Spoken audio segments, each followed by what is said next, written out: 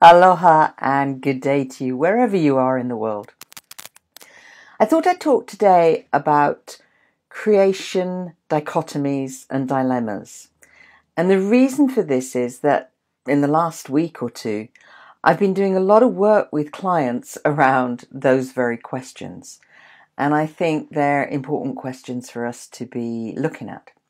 So, from a Hawaiian perspective, when we create something, when something comes into being, its opposite also comes into being. And this is necessary to keep the energy flowing between the two sides. So you can think about it like a triangle. So here's the triangle, and this is the point of creation at the top of the triangle. And then on each side of the triangle, you've got the two, the two aspects of creation. So for example, in nature, you see night and day sun and moon, hot and cold, and so on.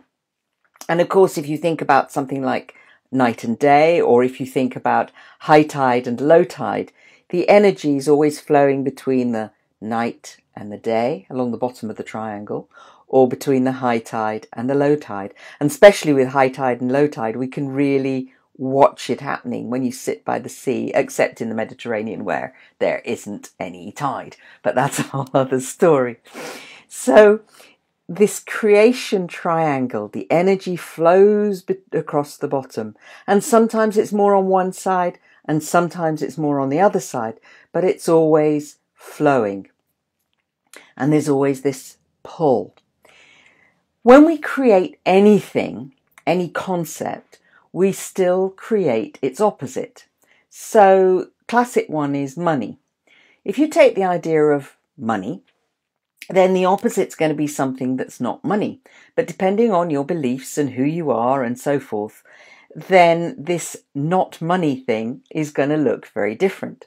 So for some people, not money looks like poverty.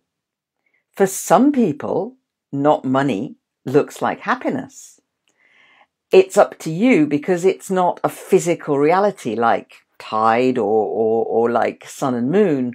It's actually something that we create in our heads. And anything we create in our heads, anything we create in, with our mentality, we're always going to set it up, set up the two sides in a way that work, works, in inverted commas, for us.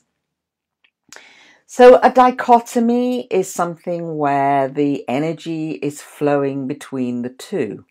And in an ideal world, the energy flows between the two in a balanced way. So sometimes it's a little more one side, sometimes it's a little more the other, but it's basically, it's balanced, it's harmonious. What tends to happen though is when we, when we've got things that uh, beliefs and things that limit us in terms of our dichotomy. So, for example, money, because as I say, it's a really easy one to work with. Most of us at some point have had uh, dilemmas around money or issues around money.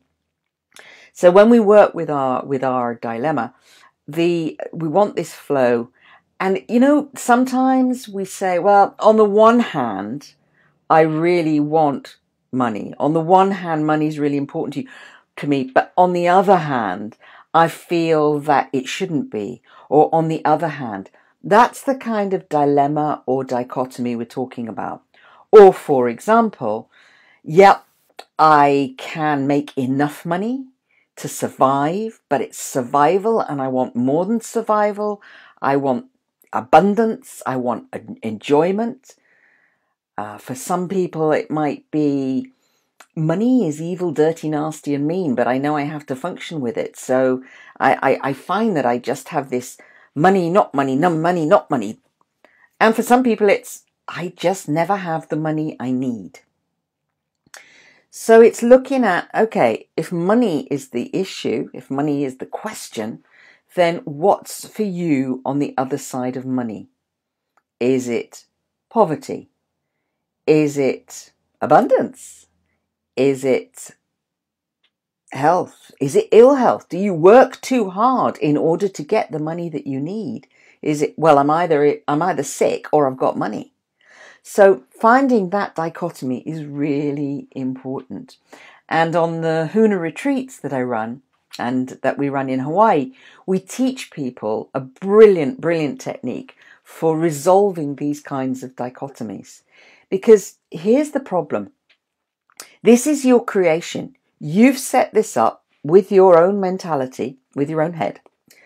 And because you've set it up, you can have it whatever way you want it.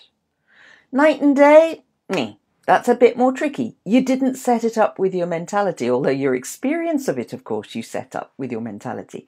But these things that we actually set up ourselves with our own brains, we can change that in the flash of a, in the blink of an eye at will. So, when you're thinking about issues and challenges in your life, one of the things that you can think about is how have I got this set up so that I have money and poverty, so that I have relationship and no fun, so that I have health and fitness and too much effort, whatever those dichotomies are. So look at your dichotomies, look at your dilemmas, look at where the energy isn't flowing smoothly and journal around that. And you may find in the journaling that it actually releases anyway. If that doesn't happen, then get in touch. You can PM me, you can direct message me on Facebook, you can jump on a, you can book a call, secretartofhuna.com slash diary. And as I say, we do work on this at retreats, so you can always book on a retreat as well. So look forward to talking to you again very soon. Take care now.